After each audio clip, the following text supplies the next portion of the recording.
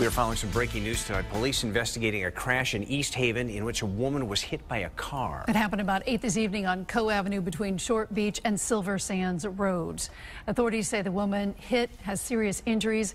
We do not yet have the victim's name or the circumstances surrounding that accident. We'll bring you more information as we get it.